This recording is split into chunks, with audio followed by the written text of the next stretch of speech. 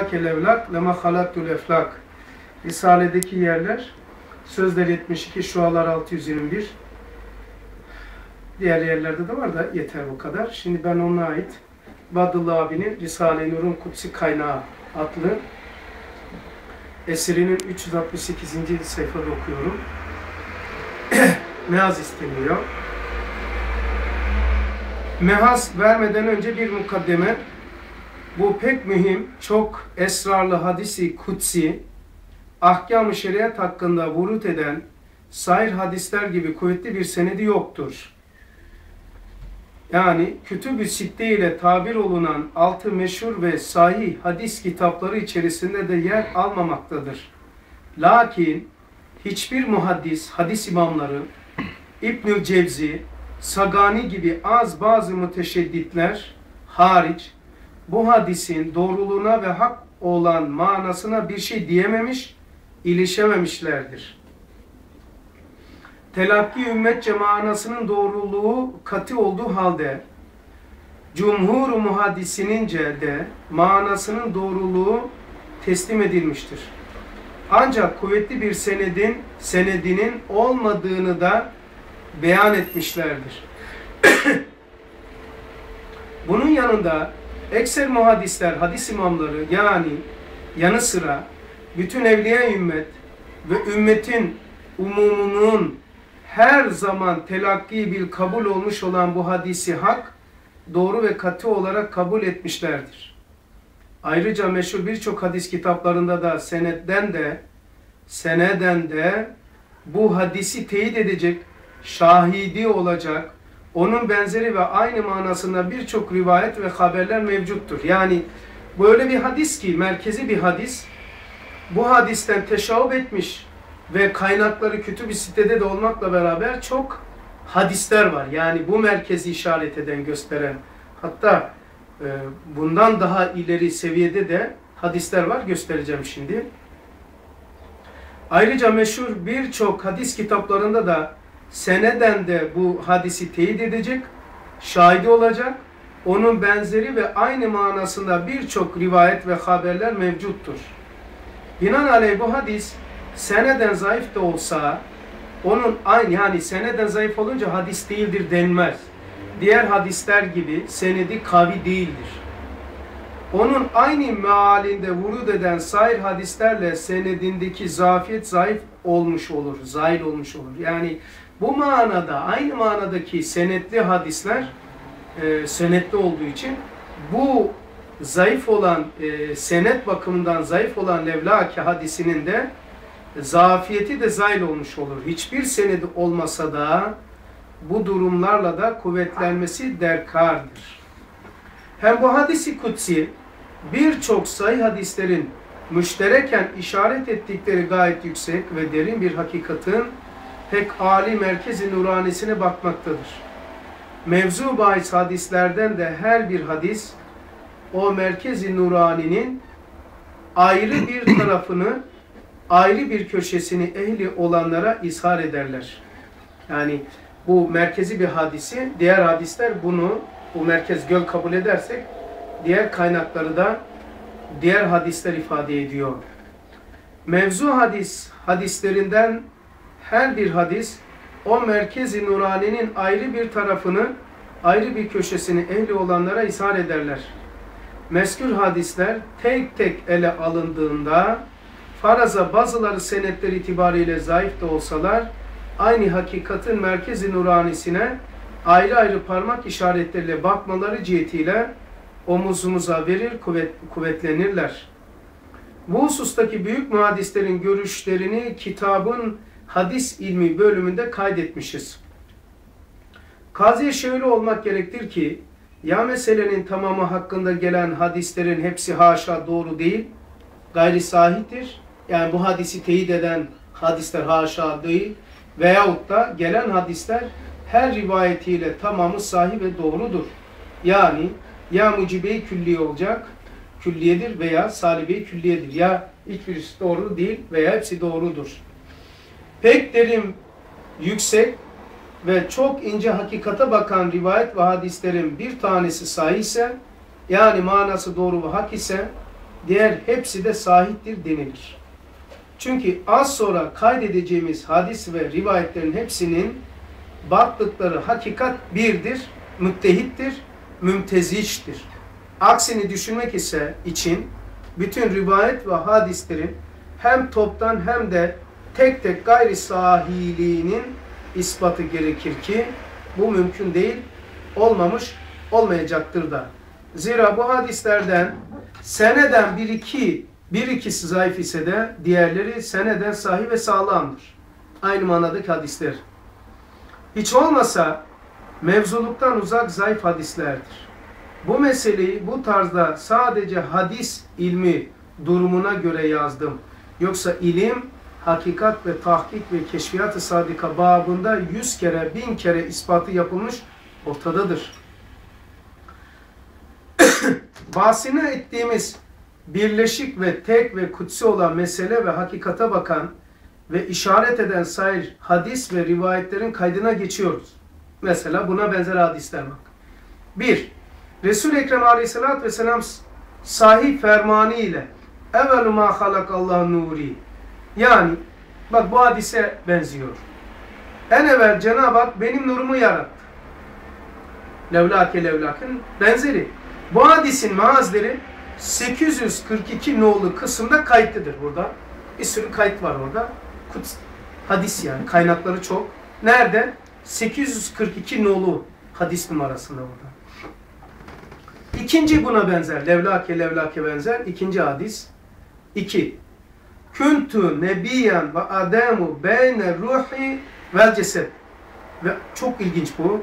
Ve aynı mealde daha çok rivayet ve hadisler var. Ne demek bu hadis? Yani ben peygamber iken Adem Aleyhisselam henüz ruh ve ceset arasındaydı. E tabii ki ve abiler Peygamberimiz Aleyhisselam'ın peygamberliğini 571 ile ve 632 arasını sıkıştırmış. Bedensel, cismi olarak kabul etmişler. Diyor ki 571'de doğdu diyor. Ondan önce kainat neydi? Peygamberimizi cesetle ifade eden adam bunu anlar mı? Bak ne diyor? Kuntu nebiyen ve ademu beyne ruhu ve ceset. Ben, pe ben peygamber iken Adem Aleyhisselam henüz ruh ve ceset arasındaydı.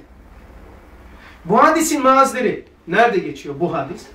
Miftar Kunuz is, is Sünne sayfa 449-450 El Fetevaül Hadisiye Heysemi sayfa 115 Mesnet Ahmet Mesnedi Ahmet 466 559 ve 379 El Fethül Kebir 2'ye 33 ve 334 Hilyetül Evliya İbni Suad ve İbni Hibban'dan nakil.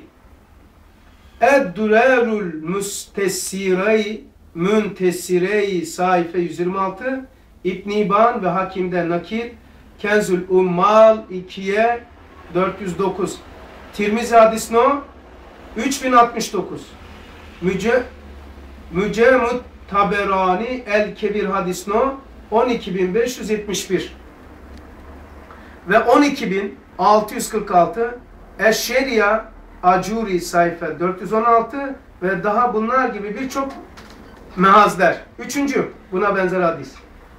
Evvelu ma halakallahu cevher, cevhereten nazara ileyha binazi binazaril heybeti fezabet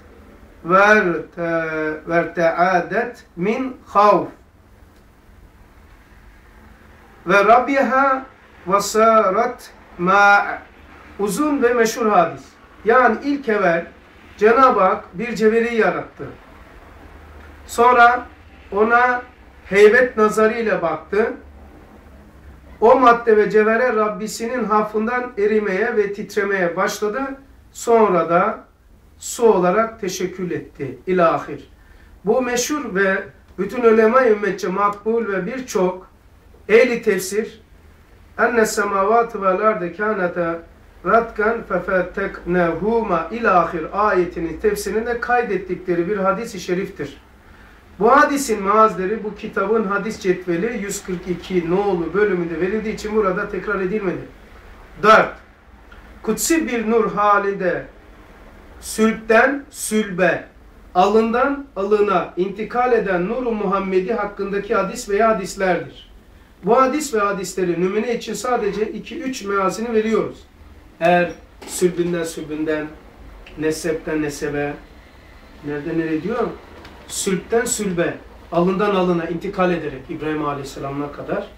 E, şimdi sen ceset kabul edersen e, bu ne olacak? Bunu meazlerini El Havilil Feteva Suyuti 2'ye 413 El Metalibul Aliye 4, 4'e 177 Kenzül Umman 12. cilt 427 Delailü Nubuve Ebu Naim 1'e 85 Mecmu'u Zevaid 8'e 215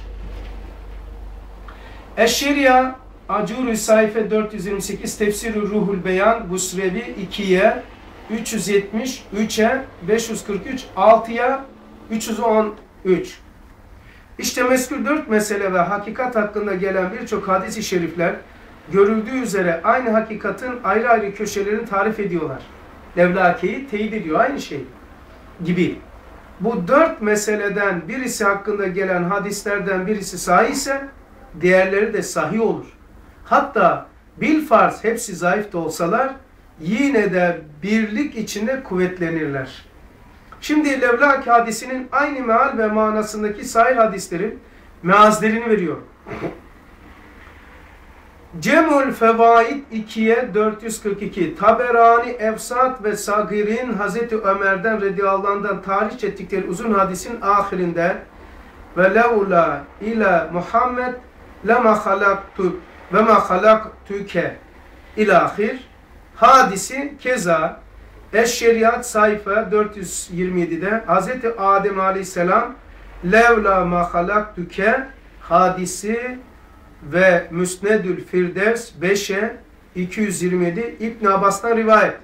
Yekulullah azze ve cella İzzeti ve celali levlake ma halaktukel cennete cennete ve lev ve levlake ma halaktun nar. Aynı bu hadis aynı bu hadis İbn Hacer el Askelani Teslidül Kavs eserinde de nakleder. İkinci hadisin Türkçe meali yani bu Yekulullah Azze ve Celle e, İzzeti ve Celali yani son okuduğum hadisin meali şu bak. Sen olmasaydın cenneti halk etmezdin. Yine sen olmasaydın cehennemi yaratmazdın buyurmuştur. Dikkat edilirse şu üstteki hadis yani levlake levlak lema halaktul eflak hadisinden mana ve çerçeve itibariyle daha geniş ve daha kuvvetlidir.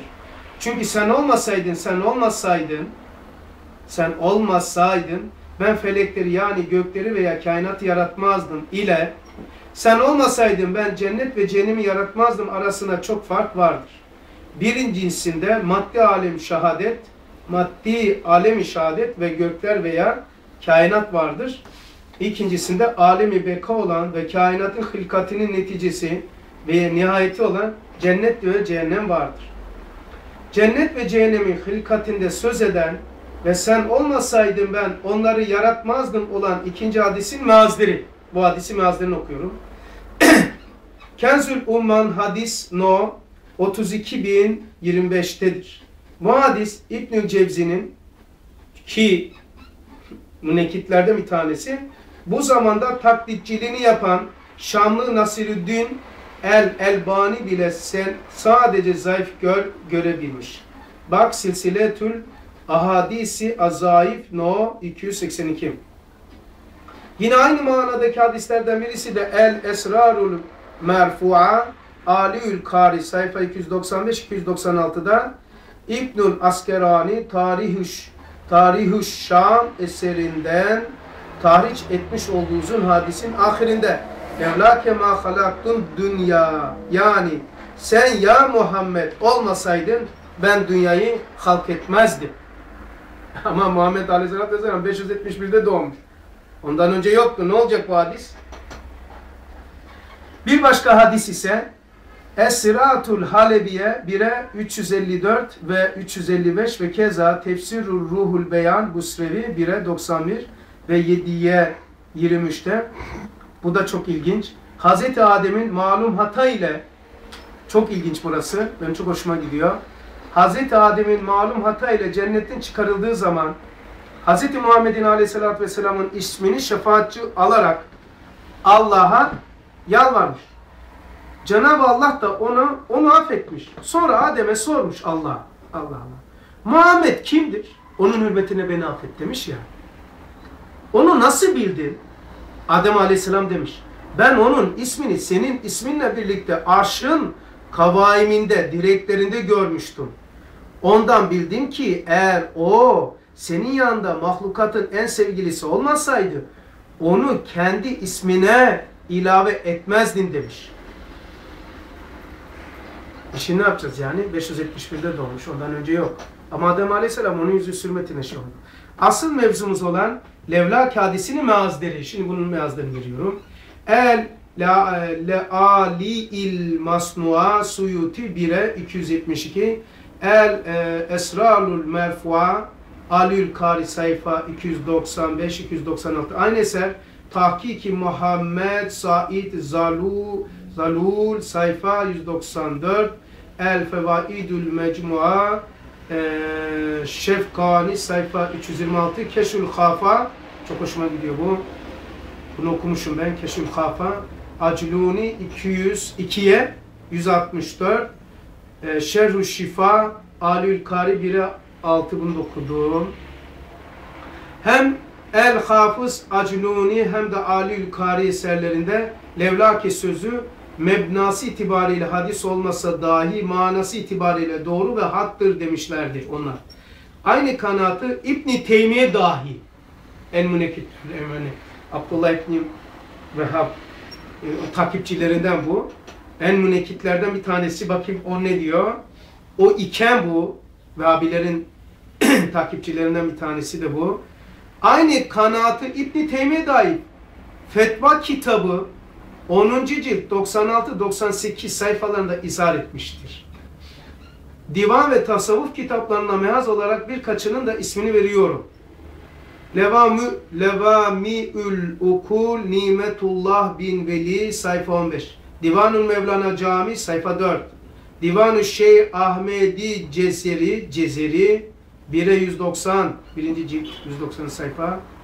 Ve hakeza Divanü Mevlana Halit Allah Allah Mevlana Halid Bağdadi'nin mektuba orada bir de Mektubat-ı Rabbani ve bütün bunların yanında umum ümmetin telakki bir kabulü olmuştur. Allah'ın rahmeti, bereketi üzerinize olsun. Zaten bir tane şey olsaydı manası diğerleri diğer hadislerle zıt düşmemek. Tam tersine diğer hadisler aynı manayı teyit hatta bazıları daha ileride olması bunu da gösteriyor. Ama bunu diğerleri kadar sağlam gelmediği için diğer hadis diye şey yapmadılar. El Fatiha.